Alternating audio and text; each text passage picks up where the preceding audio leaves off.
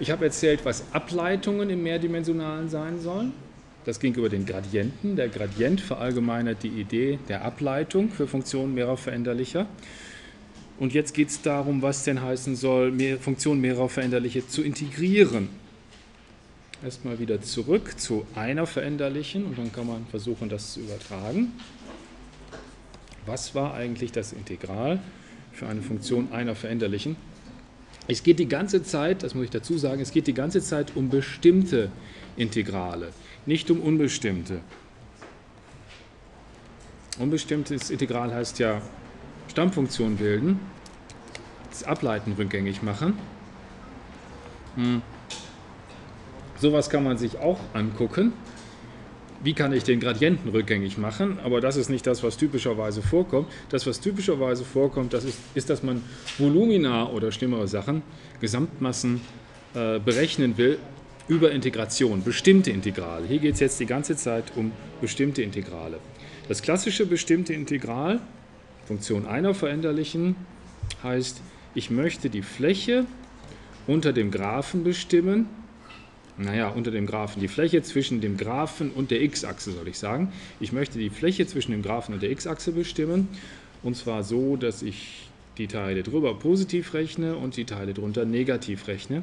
Das hatte ich vorgeführt.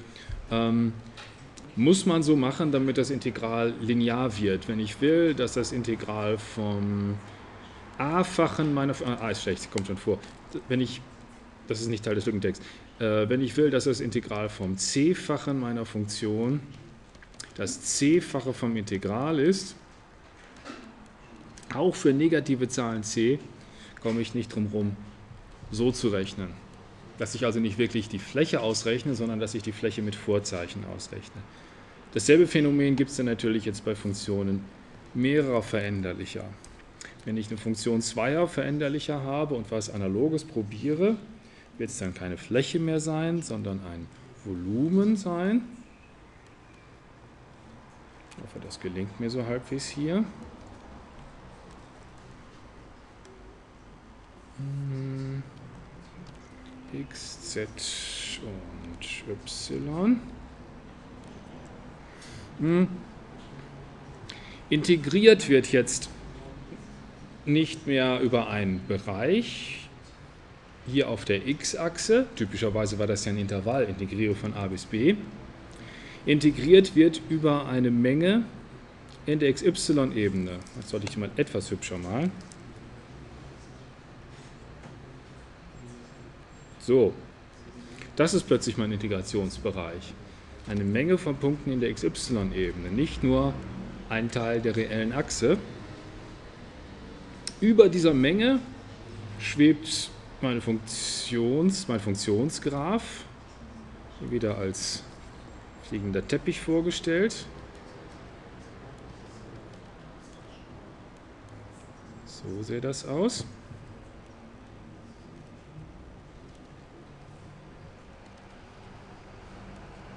Das ist meine Funktion. Funktion ist eigentlich nichts anderes als ihr Graph. Und der Graph ist jetzt nun dieser fliegende Teppich. Vielleicht sollte ich jetzt mal klar machen, dass der wie so ein Teppich ist. So.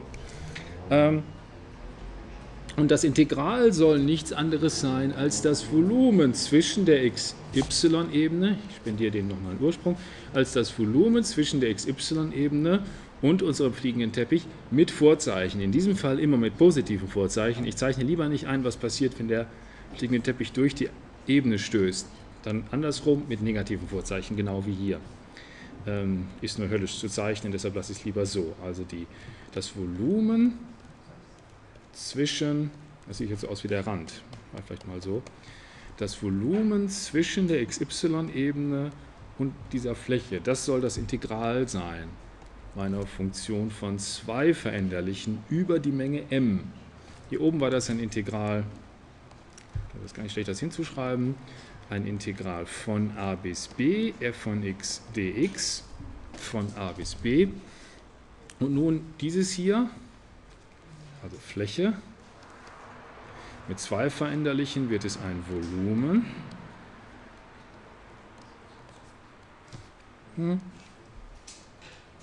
gibt es verschiedene Arten, das zu schreiben. Ich schreibe es mal so mit Doppelintegral.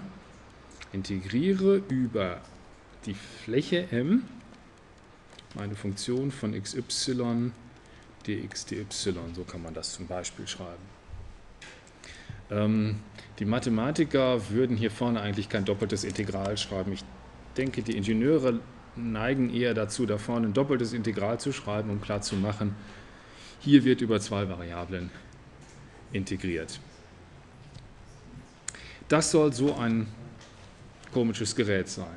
Die Fläche zwischen xy-Achse und der Funktionsfläche. Also das Integrationsgebiet ist Teil des R2, diese Menge m hier. Das muss ich vielleicht mal vorne dicker malen. Diese Menge m ist eine Menge von Paaren, eine Menge von xy. Da ist vielleicht 2, 1, 7, 8, was auch immer drin. Wie eine Pfütze, das ist hier blau gemalt, wie eine Pfütze in der XY-Ebene. Das ist das Gebiet, über das ich integriere, als ob Sie hier eine Pfütze in der XY-Ebene haben. Ähm, und dann gucke ich mir von der Funktion, dem fliegenden Teppich, der kann sich ja noch sonst wohin, ah, nicht blau. Dieser fliegende Teppich kann sich ja noch sonst wohin erstrecken.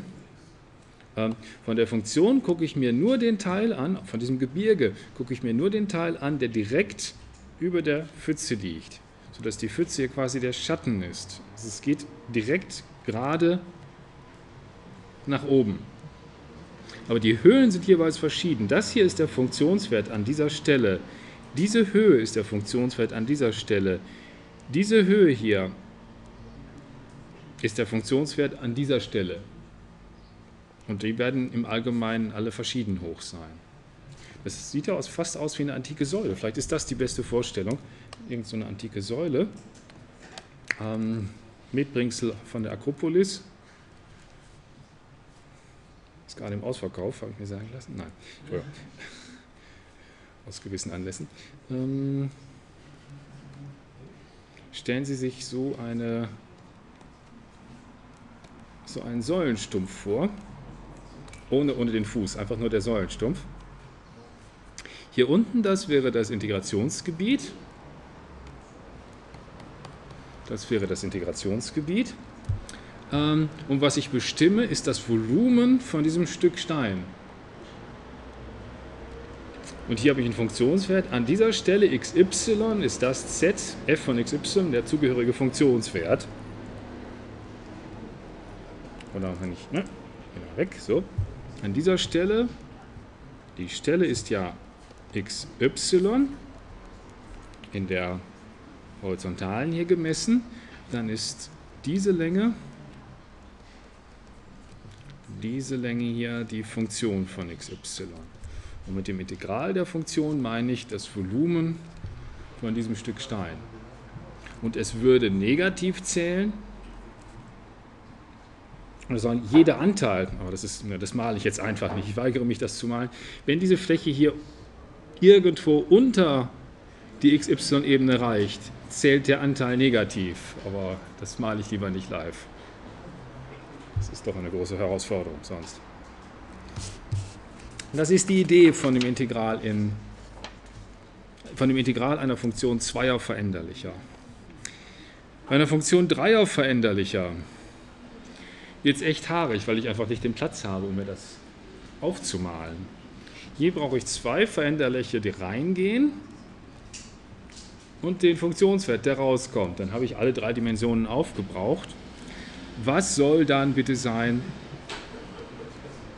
für den Lückentext 3? Was soll dann sein ein Integral über drei Veränderliche? Wie gesagt, die Mathematiker werden typischerweise dann nur ein Integral schreiben. Ein Integral über drei Veränderliche, dx, dy, dz.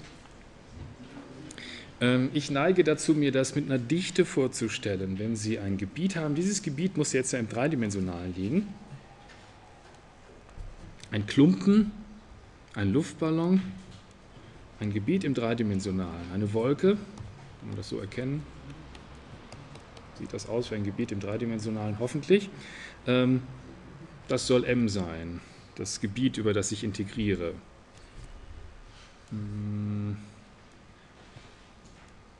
Das, das muss man irgendwie klar machen, dass das räumlich ist. Nee, äh, wie auch immer. Ähm, das gesamte Ding, diese Menge hier, die Menge aller Punkte der Wolke oder des Steinklumpens oder alle Punkte im Tank. Die Menge aller dieser Punkte, das soll m sein. Ich integriere, wenn ich über drei veränderlich integriere, über so ein Gebilde. Meine Vorstellung ist sowas wie eine Gesamtmasse. Die Gesamtmasse so eines Klumpens ist das Integral über die Dichte. Wenn Sie dessen Dichte an jeder Stelle wissen,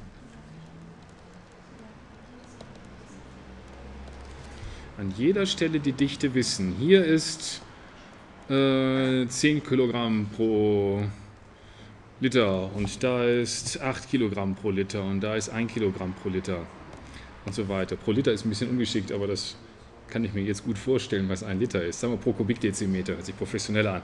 Hier ist äh, vielleicht 2 Kilogramm pro Kubikdezimeter als Dichte eine Funktion, die jedem Punkt im Raum die Dichte zuordnet. Wie dicht ist mein Material an dieser Stelle, an exakt dieser Stelle? Sie nehmen sich hier ein Kubikmillimeter oder besser ein Kubik, äh, was ein Kubikmikrometer, schneiden Sie hier raus, äh, legen den auf die Waage und bestimmen dessen Dichte.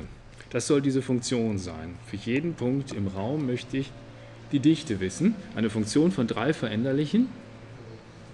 Meine Vorstellung vom Integral dreier Veränderlicher ist dann, okay, wenn ich das tue, kriege ich die Gesamtmasse raus des Ganzen. Ich summiere die Dichte auf für jeden Punkt im Raum.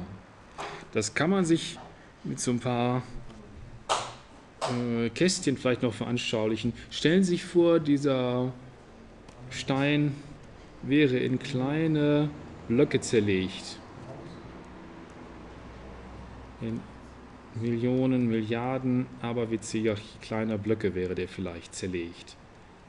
Wie so ein Kristallgitter. Stellen Sie sich den so zerlegt vor.